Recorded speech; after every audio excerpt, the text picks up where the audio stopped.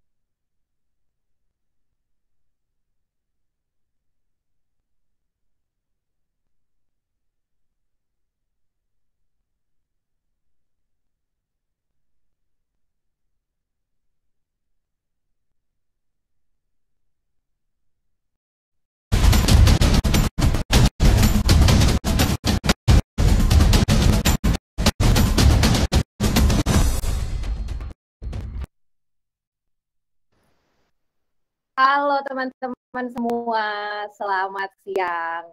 Semoga semangat ya di Hari Kemerdekaan Republik Indonesia hari ini. Nah, teman-teman, hari ini kan kita lagi 17-an nih. Ah, Nah, 17-an itu identik nggak hanya dengan perlombaan khas, tapi juga ajang menunjukkan sisi kreativitas dan seni budaya Indonesia. Pasti teman-teman di sini ingat deh, pertunjukan lagu, tarian, dan dan dan tarian tradisional Indonesia. Dan juga pasti teman-teman juga selalu eh, ikut nggak sih perlombaan hias sepeda contohnya. Nah, walaupun tahun ini nih kita harus merayakannya dari rumah, eh, tapi perayaan tahun ini memang memiliki sesuatu hal yang spesial, di mana kita tidak hanya merayakan kemerdekaan Indonesia, identitas dan warisan budaya, kita juga harus saling menyemangati, tetap kuat dan terus melindungi satu sama lain. Nah, seperti tema nasional eh, tahun ini yaitu Indonesia Tangguh dan Indonesia Tumbuh. Nah, senang sekali saya Feliciana Winatan akan menemani teman-teman semua pada live hari ini di media Sodikbud Budaya Saya Indonesia dan juga Google Indonesia dengan tema diskusi Rayakan Kemerdekaan Indonesia, Lestarikan Budaya Bangsa dari Rumah. Nah, untuk teman-teman semua di sini yang udah udah hadir, thank you banget sudah menyempatkan waktunya. Pasti pada penasaran, Mbak Feli, kita nih mau ngapain sih? Mau, mau ngobrol apa sih? Nah, saya ini pengen banget ngajak teman-teman untuk kayak positif. Apa tuh kayak positif, Pak? Kayak positif adalah kepo terhadap hal-hal yang positif nih. Nah, khususnya hari ini, teman-teman juga pasti udah lihat dong di Google Doodle, kayaknya ramai sekali nih. Ada beragam macam alat musik, beragam macam kesenian ditampilkan. Nah, apa ngajakin teman-teman untuk kayak positif terhadap budaya Indonesia bersama pakarnya langsung. Nah, sudah hadir bersama kita ada Bapak Hilmar Farid uh, selaku Direktur Jenderal Kebudayaan Kementerian Pendidikan, Kebudayaan, Riset dan Teknologi Republik Indonesia. Juga ada Bapak Said Rahmat selaku Presiden dari Sea of Indonesia dan yang gak kalah uh, yang gak kalah serunya lagi ada Kak Bertopah musisi tradisional Sasando. Selamat sore Bapak-bapak, salam kenal dan bagaimana kabarnya? Sehat? Selamat sore, ya baik sehat. Selamat sore Felicia, sehat, Alhamdulillah. Selamat sore Pak Hilmar. Selamat sore Pak Said. Selamat sore. Amin. Waduh, nih Kak Berto soalnya yang paling merdu nih. kalah nih sama Sandonya. Terima kasih banyak ya sudah menyempatkan waktunya buat ngobrol sore hari ini. Yang pasti kita akan aku aku aku punten izin, aku mau banyak nanya mau banyak belajar uh. kalau kalian boleh ya. nah, pasti teman-teman di seluruh media sosialnya dari budaya saya, Siof dan juga Google banyak juga penasaran dan pengen kepo nih sama kayak saya. Nah, teman-teman langsung aja tanyakan di chat nanti kita akan ada sesi untuk mempertanyakan pertanyaan eh, narasumber tentang segala macam pertanyaan teman-teman aja di kolom chat ya nanti akan saya sampaikan uh, saya juga seperti tadi bilang, saya punya banyak pertanyaan nih. Mungkin pertama saya langsung tanyain aja deh ke Bapak Hilmar Farid, uh, selaku Direktur Jenderal Kebudayaan Kementerian Pendidikan dan Kebudayaan, Riset dan Teknologi Republik Indonesia.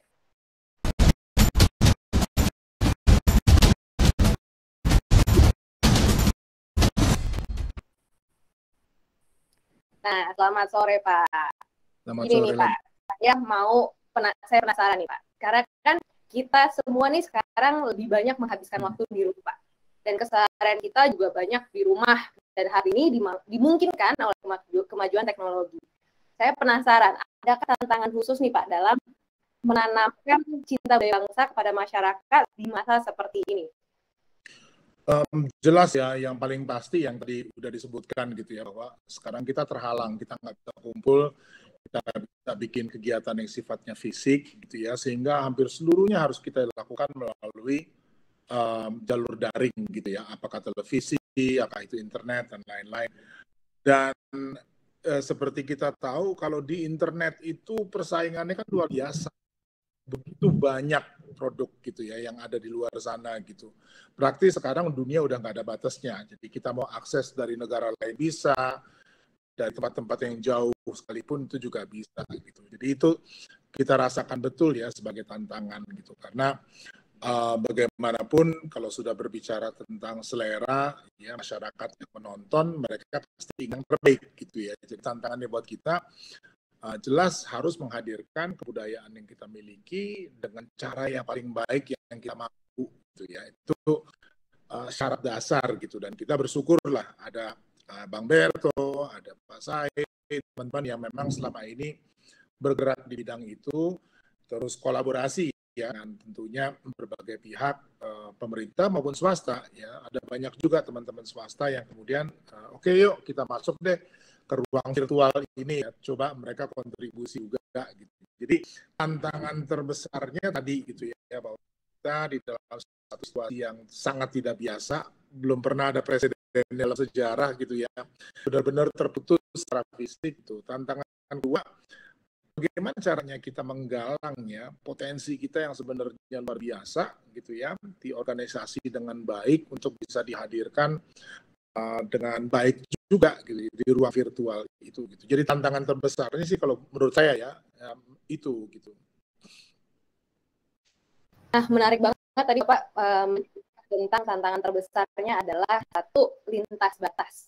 Ya, jadi karena di, era seperti ini, kemajuan teknologi um, membawa dampak yang begitu besar. Tidak hanya um, apa namanya membuka akses untuk segala macam informasi, tapi juga meng, um, enable kita untuk um, bisa mengalir belajar dan itu juga menjadi hal yang positif, tapi juga menjadi tantangan bagaimana kita bisa bersaing dengan um, selera-selera mancanegara gitu kan. Dan juga tadi um, Bapak menyebutkan bahwa kita juga harus menggali pot, uh, potensi uh, diri kita sendiri bagaimana kita dapat um, tampil lebih baik lagi di panggung internasional. Nah, mungkin um, kalau dari sisi panggung internasional memang tantangannya besar ya Pak karena kan sudah global dan juga saingannya internet. Nah, kalau uh, saya tarik sedikit nih dari kecintaan budaya bagi untuk anak-anak Indonesia-nya sendiri.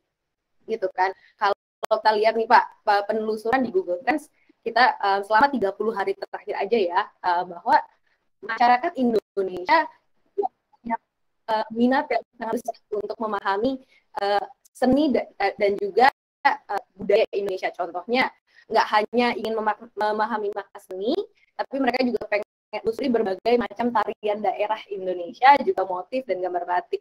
Contohnya lagi misalnya kayak pencarian seputar seni itu meningkat sekitar 203 persen atau tarian meningkat sekitar 72 persen dan kira 67 persen.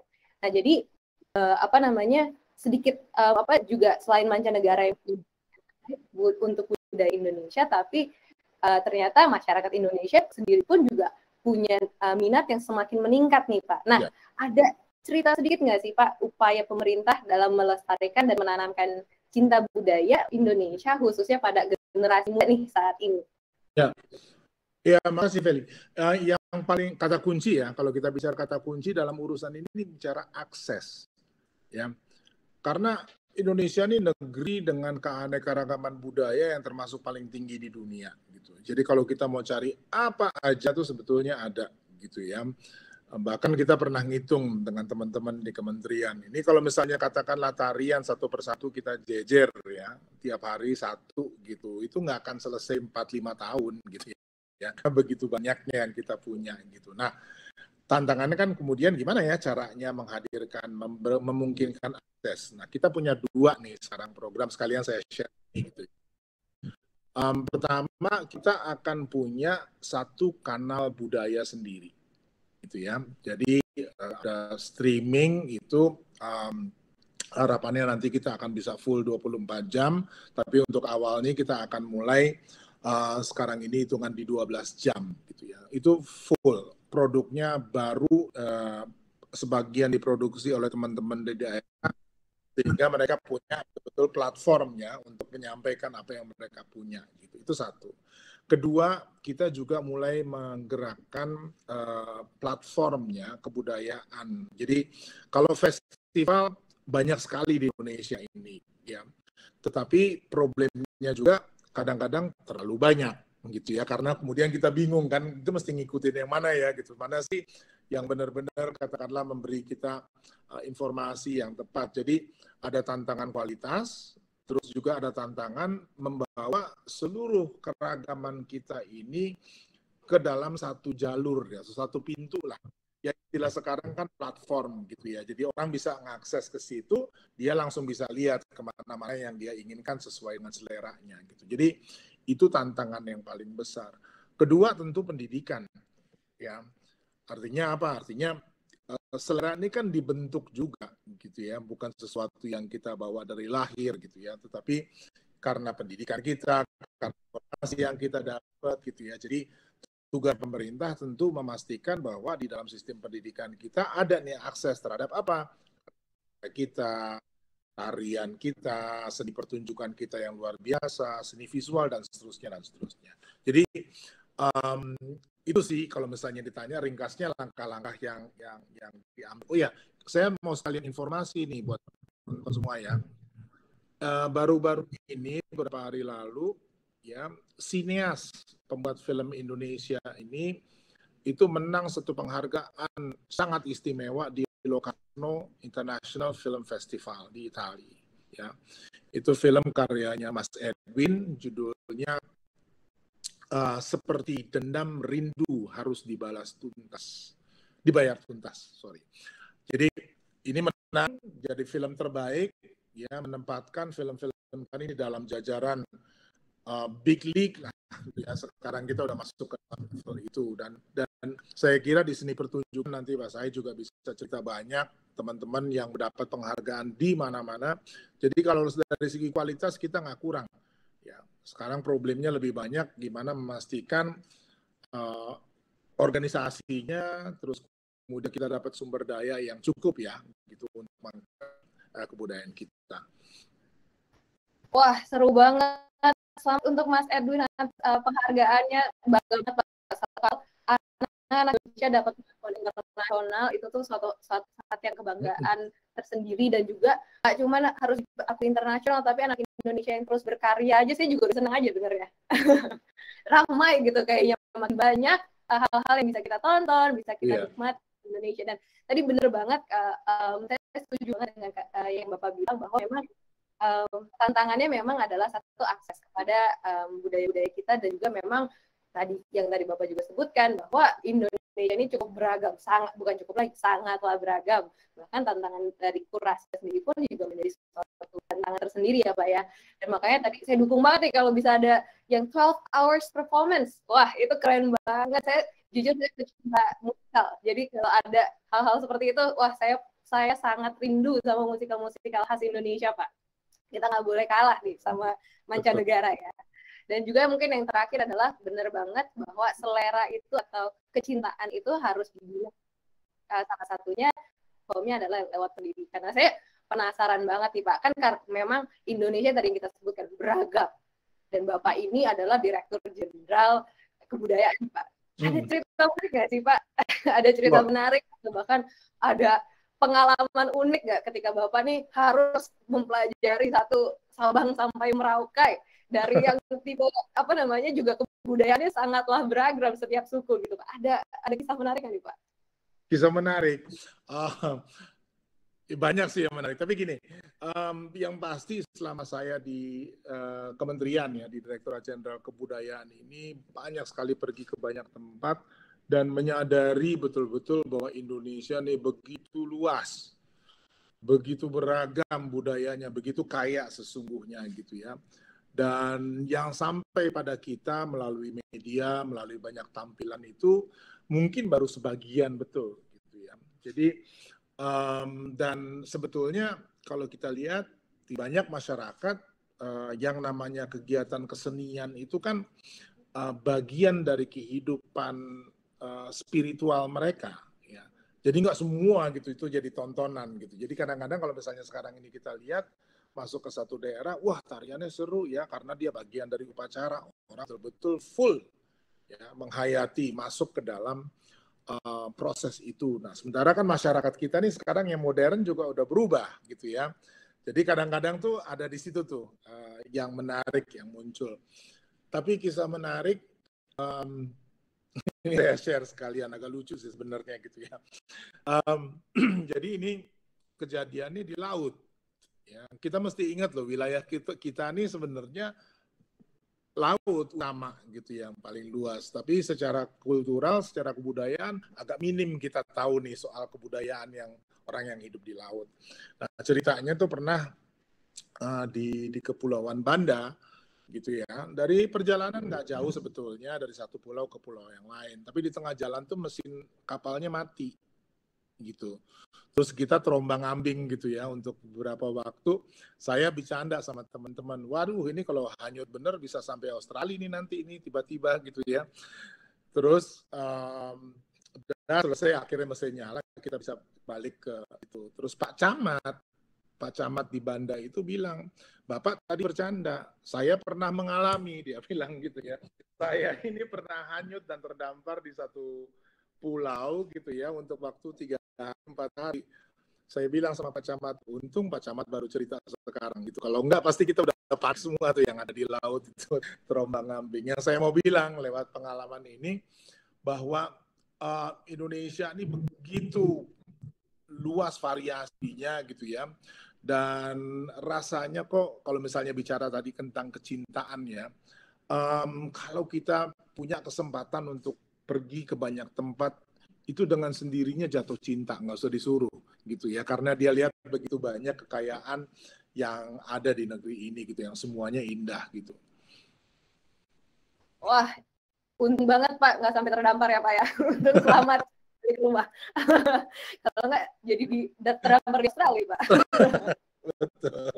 Tapi bener banget sih Pak, um, apa memang karena dengan kita mengunjungi tempat dan lebih memahami masyarakat sekitar, kita juga dengan sendirinya rasa cinta pun itu akan tumbuh Pak ya dengan rasa cinta kebudayaan dan juga kita bisa melihat langsung gitu kan dengan nyata bahwa budaya Indonesia begitu kaya, begitu um, bervariasi um, dan saya sendiri pun juga setiap hari tadi saya juga ngobrol sama Pak Said sedikit bahwa setiap hari pun saya juga menemukan hal-hal yang unik untuk Indonesia yang tidak mungkin hmm. sebelumnya budaya yang unik gitu kan. Yang mungkin uh, sudah um, dari perpaduan dari beragam macam etnis atau suku atau juga mungkin salah satu kebiasaan dari uh, suku tertentu gitu kan. Dan memang itu juga yang kadang um, menjadi uh, kultur yang sangatlah uh, unik dan juga sangatlah patut kita lestarikan gitu. Karena seperti juga mungkin kalau di Google Doodle hari ini kita mencoba nih Pak, mencoba merangkum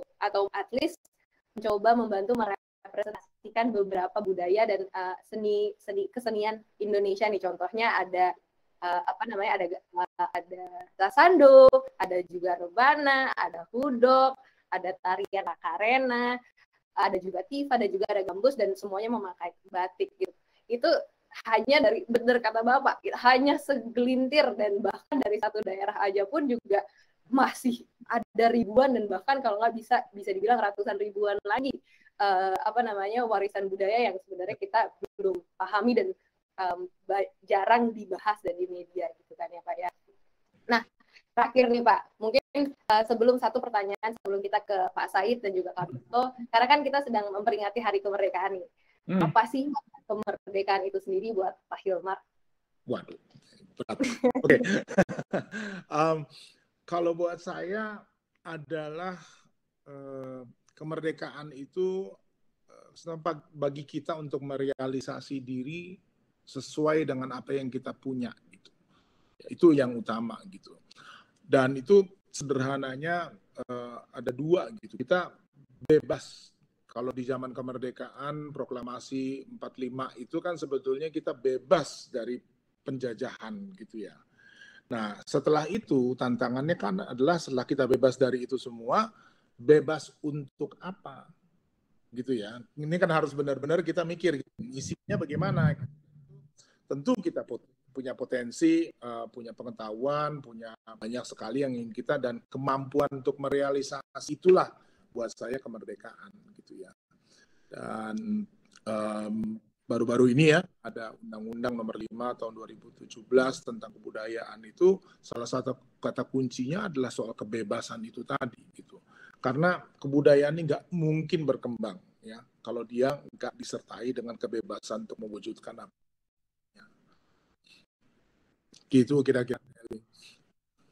Wah seru banget Pak. Jadi memang tadi kalau boleh saya sambil uh, rangkum apa yang saya pelajari hmm. dari obrolan kita tadi mungkin um, tantangannya banyak karena kan dunia semakin lintas batas, um, ada dampak baik dan juga ada dampak buruk. Nah, gimana? Kuncinya adalah satu, bagaimana kita dapat um, menggali potensi diri, menumbuhkan uh, kecintaan kita terhadap begitu um, kayanya dan begitu indahnya uh, identitas dan warisan budaya Indonesia. Banyak hal bisa mungkin kita um, apa namanya nonton nanti yang acara 12 jamnya dari budaya saya gitu kan. Atau juga nanti kita belajar um, apa uh, dari di YouTube gitu kan tentang segala macam tarian atau workshop workshop yang nanti disediakan juga oleh uh, tim dari SIOP dan juga banyak seniman lainnya.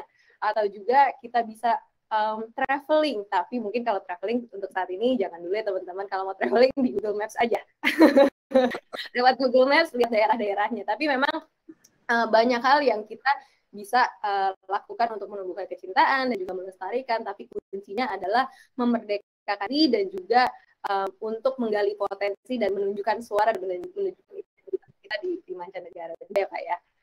Nah, terima kasih banyak Pak. Uh, mungkin selanjutnya kita langsung nih uh, untuk teman-teman yang ingin bertanya langsung ayo tuliskan pertanyaan di chat nanti akan ada sesi uh, sesi di mana kita akan tanyakan pertanyaan teman-teman ke narasumber langsung. Nah, kalau tadi kita sudah dengar dari Pak Hilmar, mungkin saya ingin memahami lebih dalam nih tentang beberapa seni budaya yang ditampilkan di Google Doodle hari ini. Seperti yang tadi saya sebut juga, salah satunya adalah tarian Pakarena. Nah, yuk kita sedikit uh, belajar lebih jauh tentang beberapa dan kesenian karya ini nih yang sudah hadir di sini bersama kita Bapak Said Rahmat selaku Presiden dari SIP Indonesia.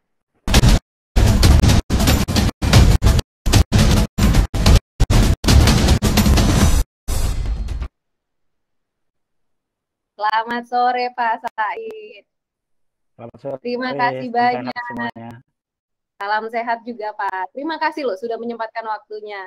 Nah Pak, mungkin di sini nih kalau saya kan familiar dengan SIOF dan tadi juga Pak Filmer juga familiar nih. Mungkin teman-teman di sini masih banyak yang belum tahu SIOF Indonesia itu sebenarnya apa sih Pak? Nah boleh dijelaskan sedikit nggak Pak? Kira-kira SIOF itu apa? Iya, Eh, sebenarnya di Indonesia dan di dunia SIOF itu sudah banyak orang tahu ya. Di Indonesia juga begitu. Uh, tentunya ini juga tidak lepas dari Google ya, yang memperkenalkan kegiatan-kegiatan kita, mempromosikan uh, apa yang kami lakukan selama ini, baik itu di Indonesia maupun di luar negeri. Jadi terima kasih Google ya, terima kasih YouTube uh, yang sudah selama ini mungkin orang tidak melihat bahwa apa yang kita kerjakan ini juga ada campur tangan dari pihak Google maupun dari YouTube ya yang uh, bisa memberikan informasi kepada uh, halayak ramai, baik itu di Indonesia sendiri maupun di luar negeri. Uh, jadi SIOF itu adalah singkatan dari Conseil International de Organisation de Festivals de Folklore et d'Art Traditional. Jadi kalau kita lihat memang dia berbahasa Perancis karena memang uh, berdirinya ini di kota Konfolong ya di Perancis Selatan pada tahun 1970 ya. Dan uh, SIOF ini uh, adalah afiliasi daripada UNESCO. Kita membantu program-program UNESCO uh, sesuai dengan objektivitas objektivitas UNESCO. Uh, yang paling utama itu adalah kita menciptakan perdamaian dunia uh, melalui festival-festival budaya rakyat.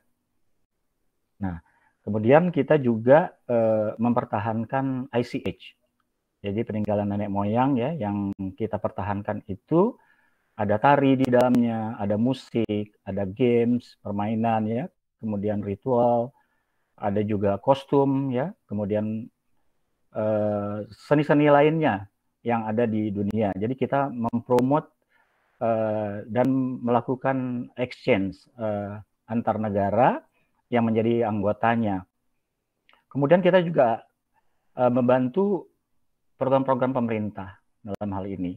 Bagaimana kita uh, tahu ya pemerintah selama ini bekerja keras untuk mempromosikan uh, kebudayaan pariwisata Indonesia ke luar negeri. Nah dengan ada SIOF-nya ini kita tambah lagi, kita backup lagi karena kita organisasi yang cukup besar ya di dunia. Jadi uh, banyak tempat-tempat yang mungkin tidak terjangkau oleh pemerintah uh, karena mungkin pemerintah lebih kepada tempat-tempat yang uh, ibu kota ya. Tapi kalau kita SIOF ini lebih ke tempat-tempat yang uh, sangat dalam gitu, ke pedalaman-pedalaman, ke tempat-tempat yang memang uh, jarang kita datangi gitu. Jadi kita mempromosikan itu betul-betul uh, seperti ujung tombaknya. Jadi kita mempromosikan ke tempat-tempat yang selama ini banyak orang yang tidak tahu tentang budaya-budaya uh, Indonesia. Uh, dan tentunya kita memberikan pengalaman-pengalaman internasional ya kepada para peserta. Kalau kami mengirimkan ke luar negeri, uh, mereka bisa mendapatkan pengalaman yang sangat luar biasa. Kemudian begitu juga uh, kalau kami melakukan festival dan kami mengundang negara-negara lain untuk melihat Indonesia, wah itu sangat uh, ini sekali ya, amazing sekali. Mereka sangat appreciate sekali dengan Indonesia yang mungkin selama ini mereka hanya bisa lihat di televisi ataupun di media-media uh, sosial, tapi dengan melihat langsung itu membuat mereka menjadi uh, cinta ya dengan Indonesia. Mereka kepingin kembali ke Indonesia setiap setiap saat gitu ya. Nah, dan SIOF ini kita mempunyai uh, 106 national section ya, uh, 106 perwakilan dari negara-negara yang sudah menjadi uh, anggota PBB. Dan uh, kita juga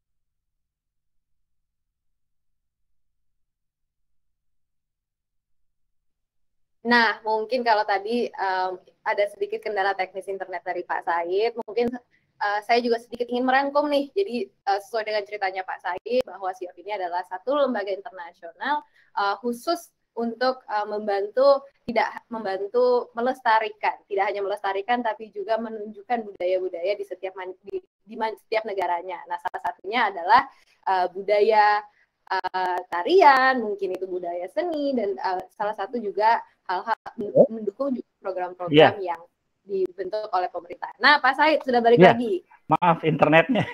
ya, Kenapa? Apa. Jadi yeah. memang tadi Bapak juga sempat cerita bahwa di SIO sendiri banyak uh, sering melakukan festival-festival ya Pak ya. Dan mereka yeah. pun juga jadi uh, apa namanya sangatlah uh, menimbulkan kecintaan masyarakat mancanegara akan Indonesia. Nah, kalau boleh tahu nih Pak, kira-kira tapi pasti kan ada tantangannya ya Pak. Tantangannya itu apa sih Pak dalam memper, uh, menunjukkan atau memperkenalkan keanekaragaman budaya kita kepada masyarakat luas, baik domestik maupun internasional nih Pak? Iya, tantangan yang terbesarnya begini, karena uh, SIAF ini kita mengkoordinir tidak hanya penari-penari profesional ya, uh, tapi juga penari-penari yang bukan profesional. Jadi kami sering mengirimkan misi-misi uh, budaya ke luar negeri itu uh, melalui sekolah-sekolah. Uh, kenapa melalui sekolah-sekolah? Karena kami melihat di sekolah itu sebenarnya potensinya cukup bagus ya, yang selama ini mungkin tidak dilirik oleh uh, instansi-instansi lain juga. Uh, kami juga melihat bahwa pengiriman-pengiriman misi budaya dengan pemerintah itu juga kami lihat masih kurang. Nah, makanya kami SIOF berusaha untuk mendorong bagaimana sekolah-sekolah yang ada di Indonesia itu bisa aktif dalam kegiatan-kegiatan dunia. Nah, tantangannya tentunya Pertama tentu soal skill ya. Jadi memang mereka sebenarnya bukan bukan seorang penari, bukan seorang musician, bukan seorang singer ya. Nah kami latih dalam jangka waktu yang cukup pendek karena memang kami tidak punya waktu cukup panjang untuk bisa melatih mereka eh, selama setahun atau dua tahun. Jadi hanya dalam waktu tiga bulan eh, bagaimana kami membentuk mereka itu untuk menjadi eh, penari yang ya boleh dikatakan semi profesional gitu, bisa mengangkat citra Indonesia di luar negeri ya. Nah, tantangan yang keduanya adalah biaya. Nah, kalau udah bicara luar negeri pasti bicara soal biaya, ya. Nah, tapi jangan takut karena kita di SIOF ini punya satu regulation internasional uh, di mana uh, saya sebagai anggota SIOF itu bekerja sama dengan anggota lainnya. Kami sharing uh, dana ya. Jadi kalau Indonesia mengirimkan misi ke luar negeri, maka pemerintah di sana uh, memfasilitasi uh, accommodation, transportation, kemudian meals uh, selama mereka tinggal di sana dan juga mengunjungi objek-objek wisata. Jadi sharing dananya ini memang sangat membantu. Jadi kita hanya menyediakan uh, biaya persiapan dan biaya. Nah, begitu juga kalau misalnya uh, kami yang melaksanakan festival, uh, saya bekerja sama dengan pemerintah-pemerintah daerah uh, untuk menampung mereka jadi menyediakan hotel atau menyediakan host family ya atau menyediakan asrama. Yang penting layak untuk ditinggali. Kemudian tentunya di sini kan uh, ada cultural exchange di dalamnya ya. Nah, itu juga mereka bisa mencoba makanan-makanan dari Indonesia. Jadi tidak hanya kita bertukar tentang budayanya, uh, tentang tarian dan musiknya saja, tapi soal makanan dan soal kostum juga itu uh, kita kita kita pertunjukkan ya kita kita kita uh, sampaikan kepada tamu-tamu kita yang yang datang di Indonesia. Jadi tantangannya yang yang terberat itu uh, bagaimana kita membuat skill mereka. Tapi saya sangat bangga ya selama ini uh, ternyata Felicia ya anak-anak Indonesia itu luar biasa ya kemampuan mereka. Jadi mungkin selama ini banyak tuanya yang nggak tahu ya bahwa anaknya itu punya satu kemampuan yang hebat gitu. Kenapa kita bilang begini? Sebab Eh, semua misi-misi budaya yang kami tampilkan ke luar negeri itu semuanya sukses dengan baik. Artinya kemampuan anak-anak kita, eh, walaupun saya kan bawa anak SD ya, anak SD, anak SMP, anak SMA, anak kuliah juga, kemudian sanggar-sanggar juga tentunya. Nah, anak-anak kita dari tingkatan SD dan SMP itu ternyata kemampuan mereka ya dalam menjalankan otak kanan itu luar biasa. Dan ini diapresiasi oleh dunia internasional ya. Karena saya juga tidak hanya membawa tarian tidak hanya membawa kostum dan musik tapi saya juga kepingin menunjukkan kepada dunia itu seperti apa sih orang Indonesia ya. Jadi benar seperti yang disampaikan Pak Hilmar tadi budaya itu begitu banyak ya sehingga orang uh, kepingin melihat yang beraneka ragam. Dan memang setiap tahun kita mengirimkan beberapa puluh ya tim yang keluar negeri itu setiap sanggar pun yang kami kirim maupun sekolah itu uh, tariannya sangat berbeda-beda ya. Nah, jadi memang uh, tantangannya itu ada di persiapannya.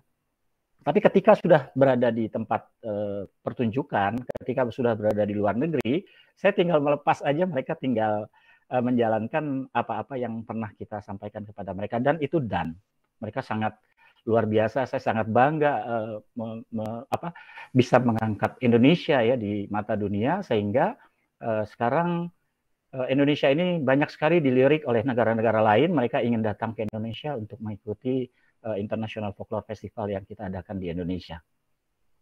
Wah, saya mesti pertama-tama berterima kasih dulu nih sama Pak Said dan seluruh tim dari Siap Indonesia. Terima kasih untuk tanpa lelah um, dedikasinya untuk terus memajukan dan melestarikan dan juga memperkenalkan budaya Indonesia ke ke seluruh dunia. Kita terima kasih banget tanpa bapak-bapak dan teman-teman di dalam Siap juga mungkin um, namanya perjuangan itu akan terasa berat. Tapi kalau ada kita berkolaborasi semuanya untuk terus berjuang melestarikan dan um, uh, memperkenalkan bisa semoga kita terus uh, menunjukkan potensi Indonesia ya Pak ya. Yeah. Nah mungkin uh, saya juga tadi sedikit uh, menang, ingin merangkum bahwa uh, sesuai seperti yang Bapak Bapak sampaikan memang um, cara mengenalkan budaya um, salah satu yang dilakukan oleh SIOP adalah dengan pembelajaran. Nah, mengenalkan budayanya ini pun juga nggak harus tidak hanya mengenalkan budaya keluar, tapi um, ke anak-anak kita juga dengan melatih mereka menjadi um, penari, dengan ternyata yang dan juga mendorong mereka untuk menggali potensi juga. Jadi tidak hanya mengenalkan budaya, budaya Indonesia, tapi juga menggali potensi diri yang tidak kita bisa duga-duga gitu kan ya Pak bahwa ternyata mereka punya suatu skill atau keahlian atau kemahiran yang kita tidak tahu sebelumnya. Nah, um, saya senang banget nih Pak. Saya ada satu, kalau boleh saya ingin um, memperdalam lagi nih dari salah satu tarian yang uh, Google uh, tampilkan di Doodle hari ini yaitu tarian Pakarena. Nah, boleh nggak sih Pak dijelasin sedikit nih tarian Pakarena ini berasal dari daerah mana dan ceritanya atau sejarahnya di balik tarian ini tuh apa sih Pak? Iya, uh, tari Pakarena ini uh, merupakan salah satu tarian juga yang uh, sering kita tampilkan di luar negeri ya. Uh, dan tarian ini memang termasuk tarian yang paling tua ya di, di Indonesia karena tarian ini sudah ada semenjak tahun uh, abad ke-17 ya. Jadi semenjak raja-raja uh, yang ada di uh, di Goa ya dan Selayar itu mereka sudah uh, menjadikan tari pakarena ini uh, simbol daripada kerajaan. Jadi pada acara-acara adat uh, pada zaman dahulu ya tari pakarena ini uh, sudah ada. Nah, jadi tari ini memang sudah cukup lama ya, cukup lama dan sampai-sampai karena sudah terlalu lama itu kita tidak tahu siapa yang pertama menciptakan tarian ini. Ya, jadi kita hanya tahu versinya. Jadi kalau dulu itu versinya ada dua ya, ada yang datangnya dari uh, Goa, terus yang juga dari uh, Pulau Selayar. Ya. Nah, kalau sekarang karena berubah, adanya perkembangan waktu uh, banyak sekali versi-versinya, tapi tanpa menghilangkan nilai-nilai uh, akar budayanya. Ya, jadi kalau kita lihat sekarang uh, tari kipas pakarena ya, jadi memang tari ini kan uh, dia menggunakan kipas dan juga menggunakan selendang.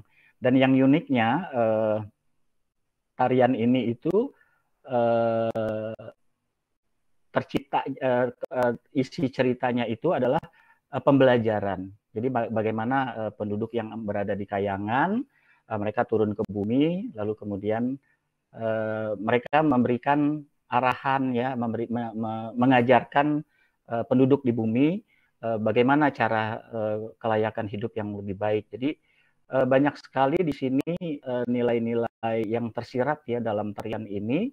Kalau kita lihat gerakannya itu satu persatu gitu dan tarian ini juga ada 12 mungkin kita sebutnya ragam ya 12 ragam. Nah itu setiap ragamnya itu berbeda-beda isi isi daripada description tariannya. Jadi bagaimana kehidupan itu bermula. Dan tarian ini biasanya dimulai dengan duduk ya kemudian, penarinya melakukan gerakan berdiri dan sebagainya. Setelah itu mereka diakhiri juga dengan duduk lagi, jadi ditutup dengan duduk. Uh, musiknya juga sangat simpel ya, tapi sangat sangat enak didengar. Jadi uh, musik pengiring yang dipakai ini ada ada gendang ya, kemudian ada kenong ya, kemudian ada gong, ada juga uh, pui-pui atau suling yang disebutkan ya. Nah ini musiknya begitu mengalun-ngalun. Jadi kalau kita bisa meresapi uh, musiknya ini secara uh, apa ya, secara benar gitu ya. Jadi kita bisa merasakan uh, penghayatan tarian ini. Jadi uh, tari Pakarena ini uh, sangat sering ya kita tampilkan ke luar negeri dan dari pakaiannya sendiri pun juga sangat menarik ya. Mereka memakai baju bodo, kemudian dengan uh, kain khas ya dari Sulawesi dan tentunya di, diinikan oleh, oleh apa namanya aksesoris-aksesoris lain. Dan kebetulan uh, besok ya uh, Google Indonesia dan Siaf Indonesia bekerja sama untuk mengadakan workshop tari Pakarena. Nah, mungkin untuk bisa mendapatkan gerakan-gerakan yang belum tahu mungkin bisa ikut mendaftar. Cuman sayangnya saya dengar dari teman-teman di SIOF kan pesertanya dibatasi hanya 100 orang ya. Ternyata tadi pagi itu pesertanya udah sudah udah full gitu ya. Nah, kita harap uh, acara ini bisa sukses besok ya dan bisa memberikan uh, informasi untuk anak-anak uh, muda Indonesia gitu. Wah, bener banget Pak. Tadi memang ceritanya, wah aku juga baru dengar nih kalau bahwa tarian Pakarena ini justru cerita dan sejarahnya itu memang diawali dari belajar ya kegiatan yeah. proses belajar membelajar nih karena um, ingin mengajarkan nilai-nilai uh, nilai-nilai melalui sebuah tarian dan dari duduk di awal kembali juga ke duduk lagi itu memang sangat um, pas banget juga dengan uh, apa namanya pesan-pesan yang dari, yang dari tadi sudah disampaikan baik dari Pak Hilmar dan juga dari Pak uh, Pak Said bahwa memang uh, kita harus um, proses pentingnya proses pembelajaran.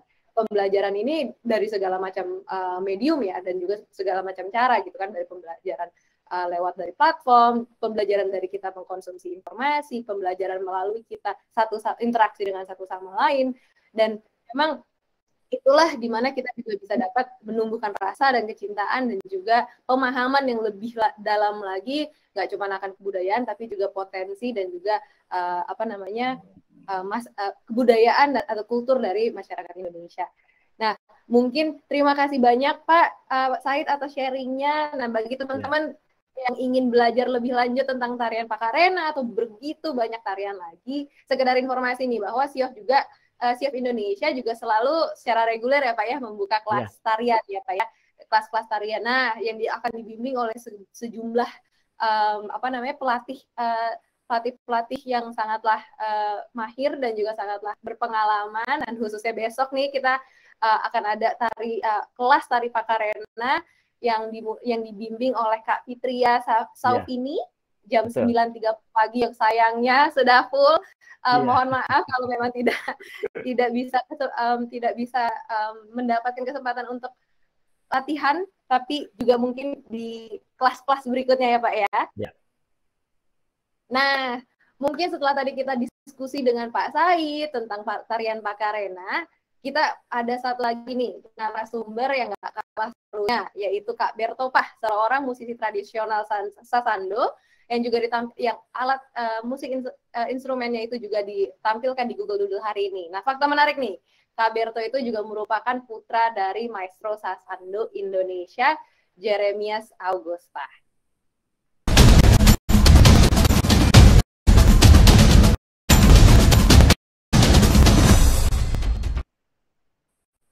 Kaberto. Selamat Halo. sore. Waduh, keren banget ini salah satunya. Topinya juga keren banget ini semua. Waduh. Ini bikinan sendiri nih, Kak? Uh, kalau sesando aku buat sendiri. Uh, kalau topi kakak yang buat. Kalau selin uh, apa bajunya ini kebetulan mama tenun sendiri. Waduh, keren Jadi banget, serba Kak. sendiri. semuanya ya bikin sendiri yeah. memang sudah maestronya dan sudah mendarah daging nih kayaknya nih. Nah Kak Berto, aku mau tanya dulu dong, boleh diceritain asal muasalnya nggak sih Kak? Itu tuh sasando bikinnya gimana sih Kak? Itu cara bikinnya kan Kak, Kak Berto bikin sendiri nih. Co boleh diceritain nggak? Dibedah dikit nih. Sasando alat musik sasando gimana cara bikinnya? Uh, sasando sebenarnya pada awalnya itu uh, ditemukan oleh dua pengembala yaitu apa Lunggi Lain dan Balo Aman. Uh, dua pengembala tersebut uh, menemukan sasando ini dan apa seiring berjalannya waktu uh, mulai mengalami perkembangan perkembangan perkembangan. Sebenarnya awal mulanya juga bukan sinar sih tapi bambunya yang dicongkel. Sesandu itu ada dua namanya sesandu gong sama sesandu biola. Kebetulan yang saya main nanti sebentar uh, ini sesandu biola kak. Dari awal mulanya itu ya ditemukan oleh dua pengembala itu namanya Lunggi Lain dan Balo Aman dan yang meneruskan itu adalah ayah saya almarhum Jeremias Pak sang maestro dan Wow, jadi langsung ditemukan langsung oleh dua penggembala dan langsung diteruskan oleh uh, mendiang ayah ya. Kalau yes. boleh tahu uh, itu tuh langsung diajarinnya langsung diajarin bikin juga dan juga langsung bermainnya gitu ya Pak ya?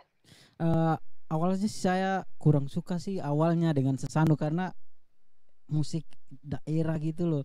Ya udah saya mau gitar aja. Cuman karena ayah saya bilang ini musik yang harus dilestarikan dijaga karena ini adalah budaya yang kita punya khas dari NTT yaitu Pulau Rote sendiri.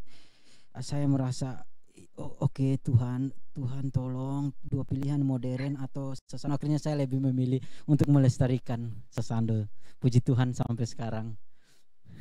Amin. Gak apa-apa. Terima kasih Kak Berto udah selalu uh, akhirnya memilih untuk meneruskan dan melestarikan sasando. Tapi susah nggak sih Kak mainnya? Main sasando tuh.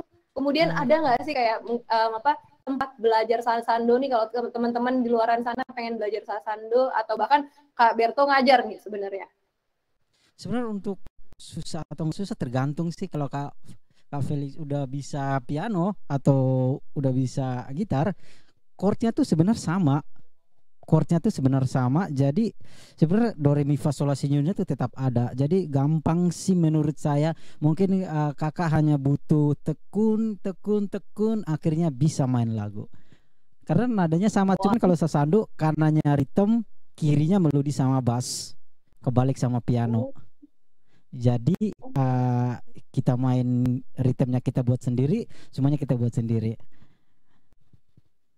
wah keren banget. Jadi memang sebenarnya pada dasarnya alat musik uh, sasandu ini juga sama aja kayak alat musik lainnya, cuman suaranya yang berbeda ya nih pasti ya. Ya. Benar. Kalau di Eropa punya harpa, kita di Indonesia hmm. juga punya sesandu.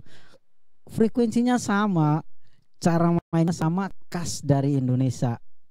NTT Pulau Rote.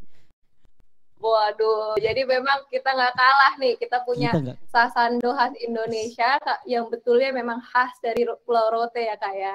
Yes. Nah kak, aku sekarang uh, mungkin terlepas dari sasandonya dan juga mungkin uh, alat musiknya, aku pengen tanya nih sebagai kan kakak sekarang sudah menekuni sebagai musisi kak. Kak, jadi apa sih tantangannya dan uh, Kak Berto ngerasa pernah ngerasa berat nggak sih dan bagaimana Kak Berto uh, mengatasinya? Ya kalau main musik sesando semua musik tradisional itu pasti ada kekurangannya kak. Pasti ya. Cuman gimana kita meng mengakalinya supaya bentuknya tradisional tapi kelihatannya modern. Yaitu uh, musik walaupun dia musik tradisional tapi saya sudah menambahkan beberapa efek.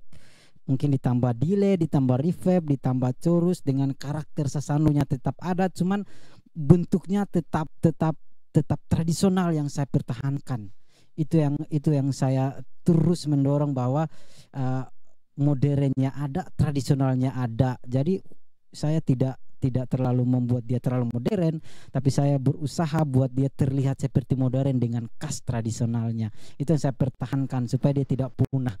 Karena sekarang tuh banyak bang alat yang yang yang sudah mensupport ya beberapa efek, beberapa sequencer, tapi saya tetap mempertahankan supaya dia tidak ketinggalan. Waduh, jadi tantangannya ada itu adalah gimana caranya tetap bikin alat musik sasando dan musik-musik yang dihasilkan dari sasando itu tetap relevan ya, ya kak ya untuk masa anak muda zaman sekarang. Dan juga begitu banyak um, apa tools atau alat-alat yang kakak bisa manfaatkan untuk membuat tetap mempertahankan ciri khas dan juga tetap memper, uh, melestarikan ke, da, khas dan dan apa namanya suara dari Sasando karakter dari dari Sasando itu tapi juga bisa memadankan dengan um, selera anak-anak zaman sekarang ya kak ya. Yes. Nah kalau boleh tahu nih kak, kan kakak juga sering aku lihat nih kakak juga sering banget kolaborasi sama musisi-musisi lintas uh, genre nih kak. Kalau boleh dipilih, kak, kak Berto tuh lagi pengen banget sih um, uh, pengen banget uh, kolaborasi sama siapa? Atau ada musisi idaman kak Berto nggak sih yang juga mempengaruhi um, cara Kak, Kak, uh, Kak Berto dalam menciptakan lagu atau memainkan musik? Ya puji Tuhan sih saya dari dulu pingin kolaborasi sama Kenny G. Karena frekuensinya itu pas. Uh, uh, saya sering melihat beberapa apa uh, di YouTube mungkin frekuensinya pas dengan sesana mungkin akan terasa uh, seksi dan lain sebagainya. Cuman mungkin ada di dalam doa. Kita sama-sama berdoa. Mudah-mudahan satu saat terwujud. Amin. Amin, amin kak. Aku juga ikutan doain. Uh, jadi langsung pengen um, dream collaboration saya atau kolaborasi impiannya adalah dengan uh, dengan Kenny G ya kak. Kalau dari yes. Indonesia musisi lokal ada nggak? Udah, udah atau udah tersampai semua nih? Udah kecapean uh, semua nih kak? Puji Tuhan waktu 2010 saya pernah ikut salah satu ajang namanya Indonesia Mencari Berto pokoknya di salah salah salah televisi lah sebut saja Indonesia mencari bakat uh, puji Tuhan saya berkolaborasi dengan banyak banyak artis sih puji Tuhan. Beberapa artis yang mau melihat. Ada Fadli Padi ada ada ada uh, Aryan Demasif uh, hampir hampir seluruh artis puji Tuhan. Dan itu menurut saya bangga karena mereka begitu menghargai budaya kita yaitu Sasando ini. Dan mereka sangat antusias untuk untuk berkolaborasi. Menurut saya itu uh, thank you so much. Wah, bangga banget nih Kak Berto nih. Terima kasih juga ya udah di terus dilestarikan dan terus nggak um, um, apa nggak nggak lelah untuk terus memperjuangkan dan memperkenalkan Sasando khususnya dari Pulau Rote ya. Nah Kak, uh, aku juga jadi banyak belajar nih uh, dari Kak, uh, Kak Berto juga tentang Sasando dan juga terima kasih juga untuk um, ayahnya Kak Berto nih yang sudah uh, mendorong Kak Berto dan juga terus menjadi maestro melestari maestro sasando di Indonesia dan terus mendorong budaya-budaya Indonesia. Nah, mungkin uh, uh, aku hari ini belajar banyak banget dari teman-teman dari Pak Hilmar, dari um, Pak Said dan juga dari Kak Berto dan saya um, saya melihat banyak juga nih teman-teman yang pengen bertanya langsung ke para ahlinya. Nah, saya langsung bacakan beberapa pertanyaan yang masuk ya dari social medianya Siok, budaya saya, Kak Berto juga, dan juga dari Google Indonesia. Nah, seru banget nih obrolan kita sore hari ini. Aku banyak banget nih pertanyaannya yang sudah masuk dan semoga kali ini uh, apa namanya teman-teman juga bisa um, langsung uh, belajar banyak ya. Nah mungkin pertanyaan satu untuk uh, pertanyaan langsung ke Pak Hilmar nih dari Jessica Amalia dari YouTube-nya Google Indonesia. Nah Pak Hilmar, izin bertanya, di era digital seperti ini, apakah ada platform dari Kemendikbud untuk memperkaya literasi kebudayaan Indonesia yang bisa diakses secara mudah, khususnya oleh kaum milenial nih Pak? Ya, uh, platform itu ada dan namanya Indonesiana. Nah, uh, outletnya ada beberapa ya. Yang tadi saya cerita tuh nanti uh, pertengahan September akan meluncur TV-nya. Jadi kita punya TV nih, gitu ya, yang 12 jam tadi itu. Tapi di samping TV kita juga akan punya websitenya yang khusus ya. Uh, tahun depan kalau semuanya lancar akan ada aplikasinya gitu ya. Jadi dia platform tetapi nanti um, kita sebutnya omni channel. Jadi kanalnya ada di mana-mana gitu ya. Uh, kerennya itu. Tapi itu ya masih dalam pembangunan. Uh, September nanti udah bisa lihat salah satu outletnya dalam bentuk TV. Uh, mudah-mudahan kalau semuanya lancar tahun depan udah ada aplikasi. Jadi udah bisa diakses dengan lebih mudah itu oleh uh, oleh semua. Wah, seru banget. Saya seru banget nih untuk ada platformnya, ada aplikasinya juga. Saya juga dari obrolan sebentar ini aja saya belajar banyak, apalagi nanti ada platformnya khusus ya Pak ya. Wah, Indonesia. Nah ini, ayo mari teman-teman kita tanti, uh, nantikan, nanti jangan lupa langsung diunggah Indonesia. Nah kalau begitu sudah luncur ya. Nah, uh, pertanyaan selanjutnya untuk Pak Said nih dari Viera Yunita. Nah, untuk Chef Indonesia, bagaimana caranya supaya bisa bergabung dengan SIOF nih Pak? Ada nggak sih program dari SIOF untuk anak-anak muda yang ingin belajar atau memperdalam skill kebudayaan seperti alat musik tradisional atau tarian dan sebagainya. Wah, langsung ada langsung ada yang mau daftar nih, Pak. Daftar jadi member. Iya, bisa, boleh kok. Kita kan terbuka untuk umum ya karena kita organisasi internasional. Jadi kita mendukung semua institusi-institusi yang ada, apakah itu grup, apakah itu personal ya. Uh, mereka bisa saja untuk uh, menjadi anggota SIOF. Jadi silahkan saja mengunjungi uh, website kita www.siofindonesia.org uh, maupun uh, semua media massa, semuanya dengan uh, Indonesia. Jadi kita punya Twitter, punya IG, punya Facebook, uh, YouTube ya, apa pun kita punya semua media massa. Jadi silakan saja bagi yang mau apa namanya, mau bergabung dengan Siop, mau belajar musik, mau belajar tari, atau luar negeri juga ya, uh, silakan saja uh, uh, menghubungi kita. Kami welcome untuk siapa pun.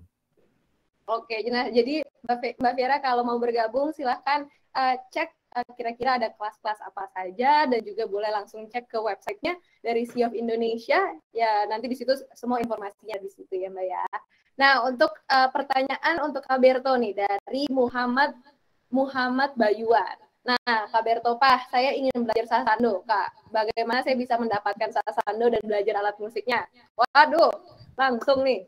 Kebetulan saya uh, menjual saya memberikan les di salah satu sekolah di Moi eh, di apa namanya Jasa Prana Musik. Sul kebetulan saya bukan guru sih cuman membimbing aja gimana cara main yang benar gimana cara menjiwai musik tersebut. Dan sesananya bisa beli sama saya. Kebetulan saya buat sendiri tinggal dipesan. Saya kasih uh, buku petunjuknya dan saya cari kasih tahu cara mainnya dan saya demo di depannya. Sampai mungkin ya harus bisa harus bisa beberapa lagu jadi langsung hubungi saya Waduh, langsung nih dari alat musiknya sampai les langsung tutorial ya Pak ya, ya Kak ya. Kak, boleh kalau boleh tahu nih, mungkin banyak di sini juga banyak teman-teman yang um, apa penasaran sasando ini bisa dibeli di mana dan menghubungi Kak Berto.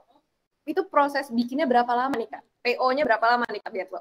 Uh, aku sih seminggu tergantung dari lontarnya sih karena kalau hujan tuh kita susah daun lontar sama kayunya itu kebanyakan aku pakai kayu merah jadi sekitar prosesnya sekitar satu minggu sampai sampai eh, dua minggu itu udah udah udah beres semuanya tinggal terima Oke, berarti satu sampai dua minggu kalau teman-teman proses pembuatannya Benar. dan nanti bisa langsung belajar juga sama Kak, uh, Kak Berto langsung loh uh, dari musisi musisi yang berpengalaman dan juga ada teman-teman kalau ada yang penasaran langsung ke media sosialnya Kak Berto ya. Kak Berto ini bisa semua ada semua kok. Tinggal di Google namanya Berto Pah muncul semua bisa uh, cara menghubungi Kak Bertonya. Ya, dan Oke. ini juga apa? Nah, Sasando Biola, Kak. Jadi ini bisa main bisa main lagu-lagu kekinian sekarang, bisa. Uh. Wah, nanti nanti aku Kak Berto tolong mainin sedikit ya Kak ya. nanti aku mau todong nih mainin yeah. sedikit ya Kak Berto ya. nah, oh, seru banget nih teman-teman uh, obrolan kita sore hari ini saya belajar banyak banget dan saya yakin teman-teman yang nonton di sini um, belajar banyak tentang budaya Indonesia langsung dari para pakarnya dan saya harap semoga diskusi ini tidak hanya menginspirasi untuk terus belajar dan memahami budaya Indonesia yang begitu kaya tapi juga um, memeriahkan um, perayaan Hari Kemerdekaan ini dan semoga menyemangati teman-teman semua ya di masa sulit untuk terus saling melindungi dan tetap tangguh bersama. Nah, rasanya tuh seperti yang tadi saya bilang nih, kayak kurang pas kalau kita udah ada udah ada musisi tradisionalnya nggak membawakan satu dua lagu. Nah, sekaligus uh, menutup diskusi hari ini, uh, kami ingin mena apa uh, ingin menyambut Kak Berto yang akan membawakan medley lagu Indonesia Pusaka dan Boleh Lebo. Nah, terima kasih juga untuk uh, sebelumnya terima kasih uh, sebesar-besarnya untuk narasumber yang luar biasa Pak Hilmar, Kak Berto, dan juga Pak Said terima kasih atas waktunya dan sharingnya kepada kita semua. Dan semoga dan seluruh uh, tim dan pihak yang sudah mendukung kelancaran hari ini teman-teman tetap sehat ya. Tetap uh, di rumah aja tetap aman di rumah aja. Tetap happy harus tetap semangat senang selalu agar kita bisa sama-sama uh, melindungi satu sama lain dan um, tetap tangguh di masa-masa seperti ini. Baik selamat sore Kak Berto silahkan pertunjukannya dinantikan. nih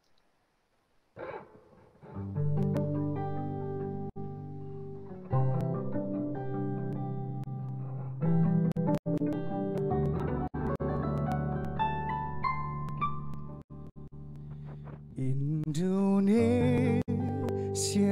tanah air beta pusaka abadi nan jaya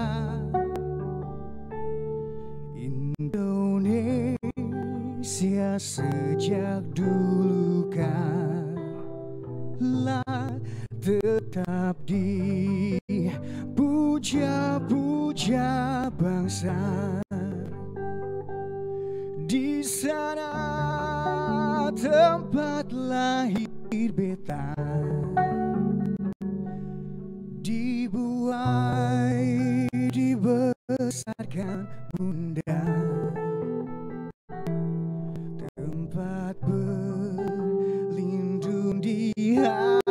tua sampai akhir menutup.